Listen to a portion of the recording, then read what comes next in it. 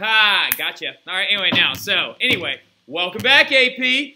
Pope Paul. We're gonna we're gonna start off with where we left off in class. All right. So when we left off in class, we were talking about. Notice I'm just shotgunning straight into this because I don't want you to have another 20 minute guide. All right. I'm gonna try to keep this one like 12, maybe 11 minutes. So, but anyway, in class we were talking about the Catholic Counter Reformation. Right. We also were talking about the fact that Eastern Europe was like a grab bag of different faiths, right? Where you have that like that last note where Eastern Europe was like a mix of all the different faiths. The big ones that they were a mix of was Calvinism, Lutherans, Catholics, and Eastern Orthodox, right? So anyway, and that's all from the Great Schism back in the day in the Byzantine Empire. But Pope Paul He's going to call the Council of Trent, right? Remember, he came in with all these great ideas. He's like, let's outlaw pluralism. Let's help to educate people. Let's uh, outlaw pluralism. Uh, no, but he also had a lot of other things as well. He wanted to try and actually go after doctrinal heresy, not necessarily heretical acts like, oh, well, you know,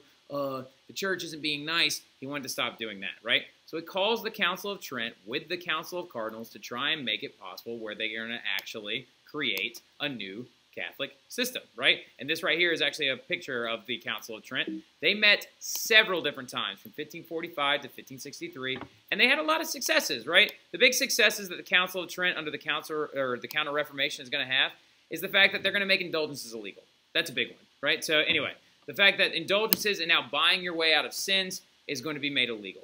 They're going to reject the idea, though, of salvation by faith. Okay, salvation by faith is a Lutheran idea, so they're going to reject the ideas that you all you need to do is have faith in God, and then you'll be able to actually get exempt from His judgment, right? So they're going to reject that idea.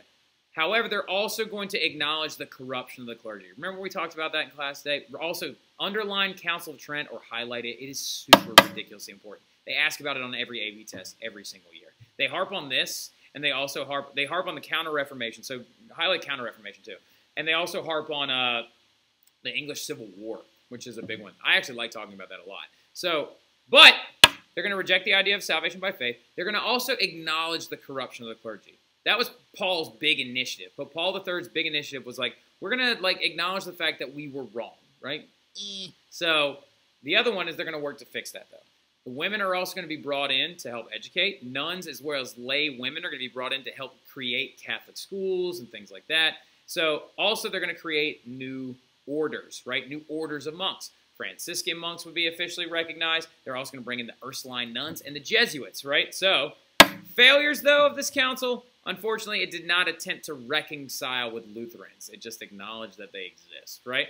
If the Council of Trent would have made a very progressive step, they would have reconciled with the Lutherans and been like, hey, everybody loves God. We're just going to do it in different ways, and we can be peaceful with one another, right? Unfortunately, that didn't happen, right? So they only acknowledge their existence. So going forward, though, we got to talk about a couple new orders, right?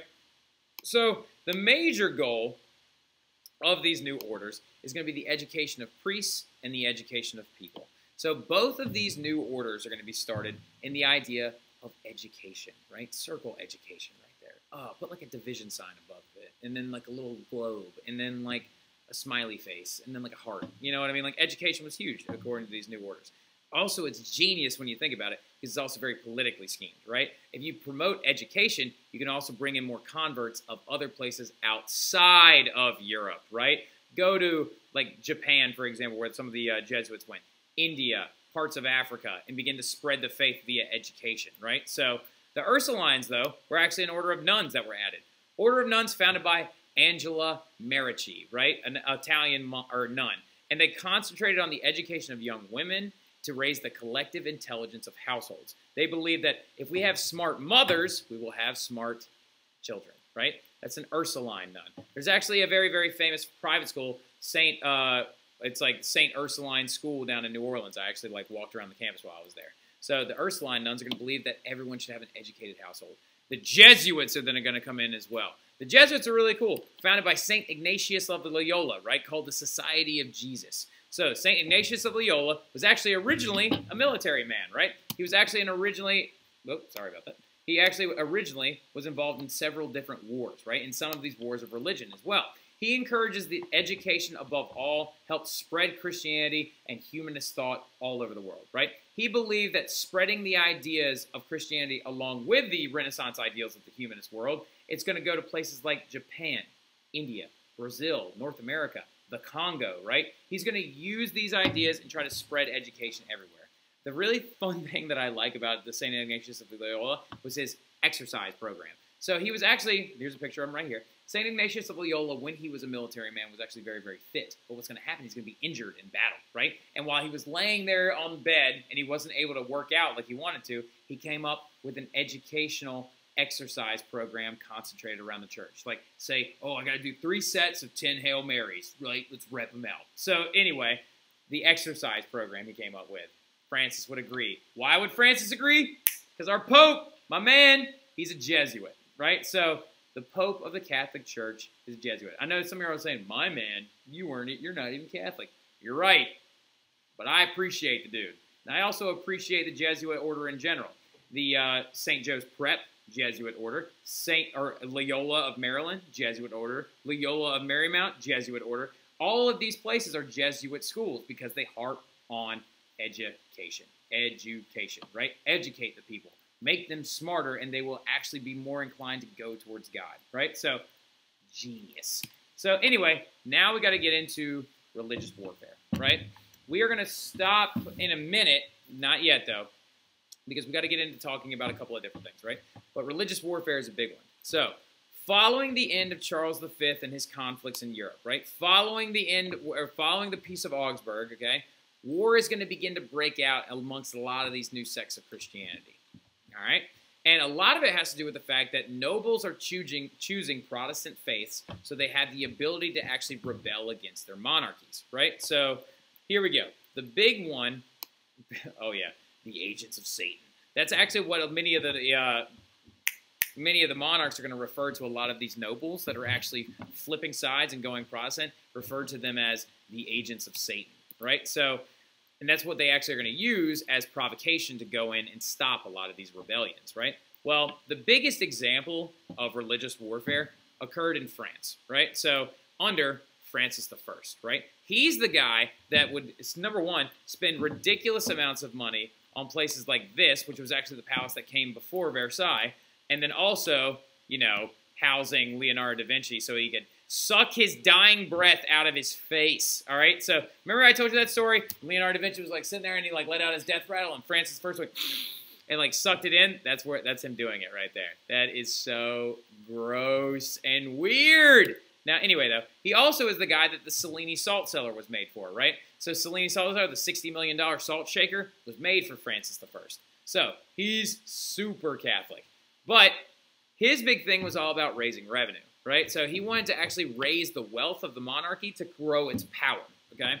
So according to Francis I, the reason why nobles have power is due to the fact that they have land and money, right? So his big thing was, I'm going to raise revenue. The way I'm going to do that, I'm going to start selling public offices, right?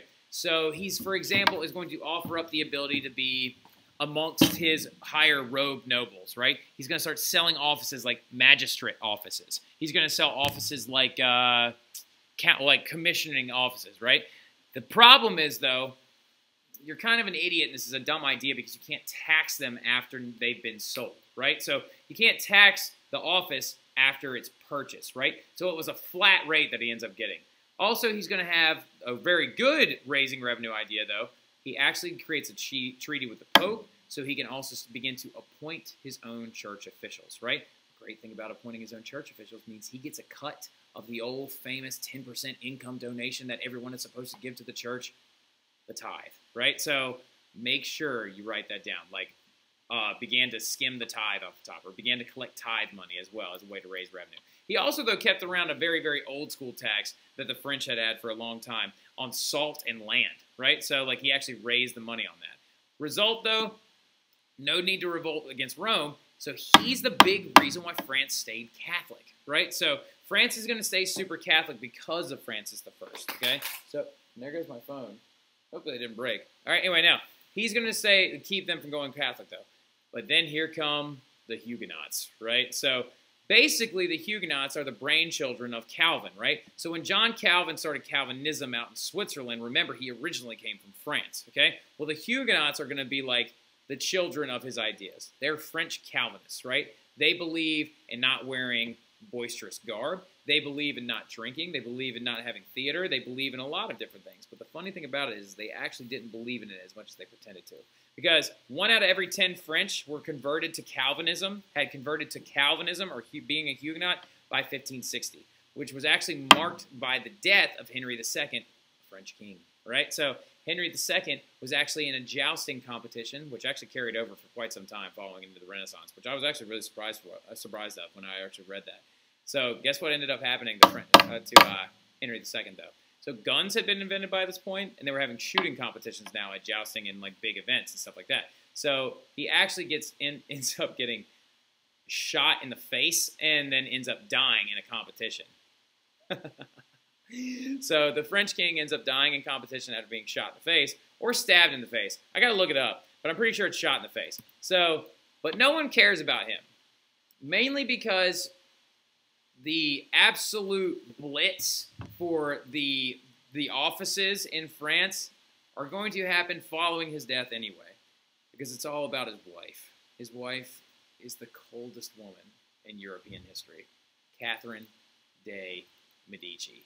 All right, so if you've ever seen Reign, you know who this person is. Haley, I know you're freaking out right now. All right, so anyway, now like so, Catherine de Medici is seriously probably the most cruel woman in all of history, and or one of the most cruel, like not even like cruel women, but like cruel people in like the dirtiest move I've ever heard. All right, so remember though, Henry II, the King of France, dies in a competition, right?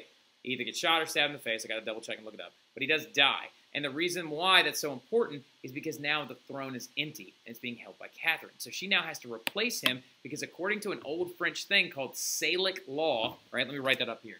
Salic Salic law says that the throne cannot pass to a woman in France, right? The Third Succession Act of 1543 in, in Europe, or excuse me, in England, is actually going to be the reason why Salic law did not carry over in England. But Salic law was still a thing on the books inside of France, okay? So according to Salic law, a woman cannot inherit the throne. So Catherine de Medici could not actually inherit the throne. She had to take their one daughter, Margaret of Valois, and marry her off to someone else, a French royalman, right? But the problem was, is a lot of our nobles are converting to being Huguenots, right? So, who?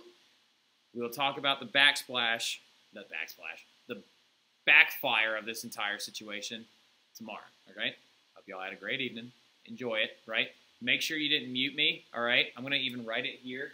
Don't mute, all right? Because if you do, you're going to miss a lot of stuff that was very important. Tomorrow, I'm also going to try and give you your study guide as well for this unit. Deal? But I will see y'all then. Have a great evening.